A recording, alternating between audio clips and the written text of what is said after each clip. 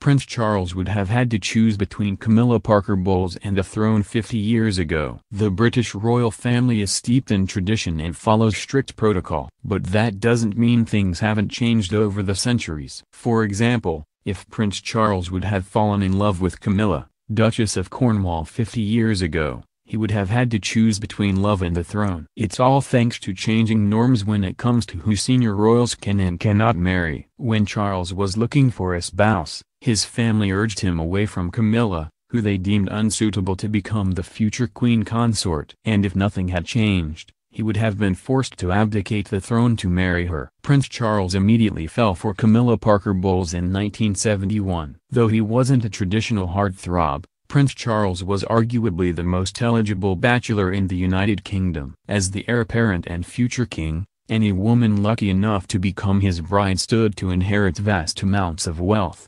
prestige, and even a crown for herself. But he was mostly smitten with Camilla. The pair met through a mutual friend in 1971 and immediately struck up a relationship. Charles' family didn't mind him sowing wild oats but immediately realized Camilla would not make appropriate wife material. Royal courtiers intentionally stationed the Prince of Wales overseas to get him away from Camilla. While he was away, she married someone else. He couldn't have married a divorced woman 50 years ago. One of the biggest reasons Charles' family steered him away from Camilla was she didn't have the proper pedigree to become his bride. But they were also scandalized by the idea that Camilla had openly been with other men, which did not meet the standards of the future king marrying virgin. Camilla and her first husband Andrew Parker Bowles divorced in 1995. Meanwhile, Charles and Princess Diana separated in 1992 and formalized their split in 1996 after his affair with his former girlfriend went public. Still,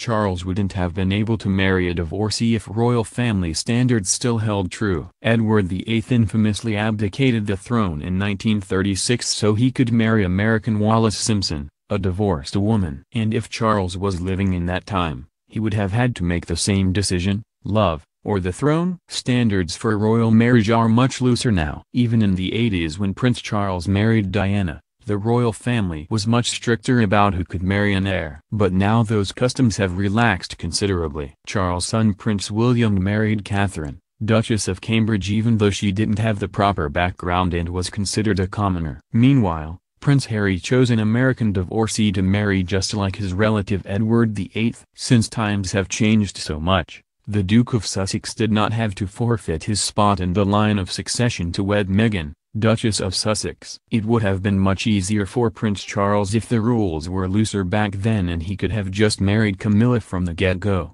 and it would have saved everyone involved a lot of heartache. In the end Charles and Camilla got married in 2005 even though both were previously divorced.